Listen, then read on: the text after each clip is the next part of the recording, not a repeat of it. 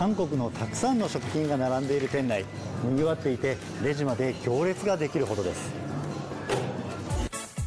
札幌西区のこちらのスーパー。本場のキムチやインスタントラーメン。マッコリや焼酎など1000種類を超える韓国の食品が並んでいます。女性を中心に平日はおよそ500人。休日には1000人を超える客が訪れるといいます。この大人気の訳は何なのでしょうか？旅行に行けなくなったので少しでも韓国気分を味わえるかなと思ってきました。えー、チ餃子とホットクとそれからチヂミと海苔巻きの海苔？買いました。5月にみんなで韓国行こうって言ってて結局行けずそのままね来ちゃったからせめて家で韓国にしようかと思って。新千歳空港と韓国を結ぶ定期直行便はピークのおととし8月には週111往復ありましたが去年3月からは全便運休が続いています。道民にとって最も身近な海外だった韓国が一気に遠くなってしまいました。そこで家で韓国の味を楽しもうという人が訪れているのです。どんな食品が人気なのでしょうか？韓国のあのポテトチップスになりますけれども蜂蜜とバターが入ってますのでちょっと甘くてあの食感もシャキシャキになってますので女性にも結構人気ありますね。ハニーバターチップ2014年に韓国で発売された際には買い求める人が殺到し社会現象にもなりました。こちらの店では先月の月間売上ランキング第8位でした。これバターの香りがもう袋開けた瞬間からすごいですね。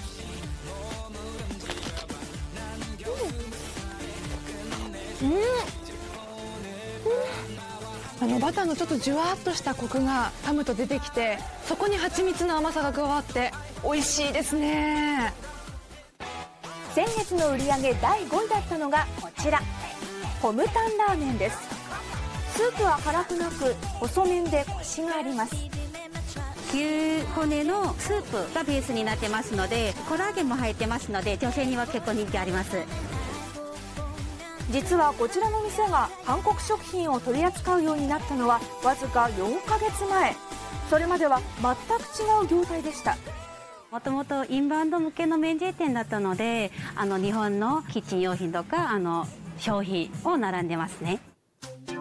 もともとは主に韓国からの観光客向けの免税店でした2018年度には道内に年間およそ73万人の韓国人観光客が訪れていましたがコロナ禍でそれが途絶えました。あ不安でした。あ もう仕事を失うかどうかそれもねちょっと結構不安で不安で。苦肉の策で日本人向けの韓国食品スーパーに衣替えしたところ大当たりしたのですコロナ禍で海外旅行に行けない人たちに人気の韓国食品専門スーパー。入荷してもすぐに売り切れるという人気のスイーツとは？これになってますね。結構なかなか入ってこない商品で中に餅が入ってますよ。チョコパイきなこ餅。その名の通り中にきなこ餅が入ったチョコレートパイです。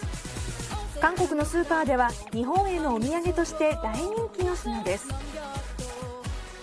うんきなこのいい香りがします。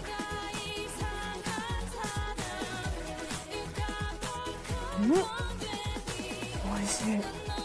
このふんわりとしたパイの中にマシュマロとお餅が入ってるんですね。韓国だけではありません。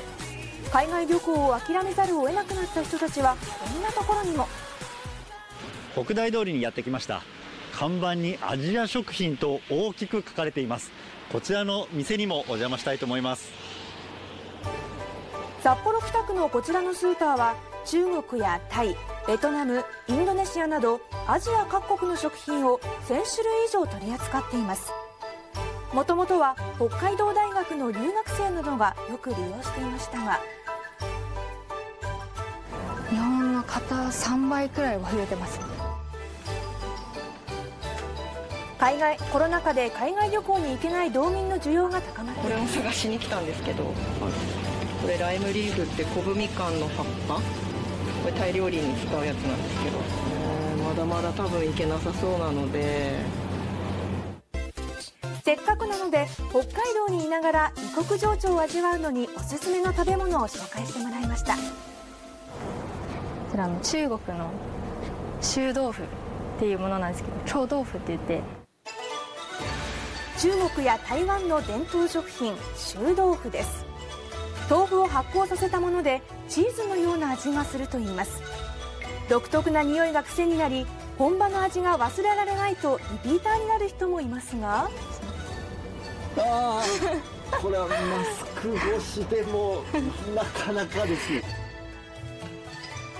初心者にはなかなか手強い食品です。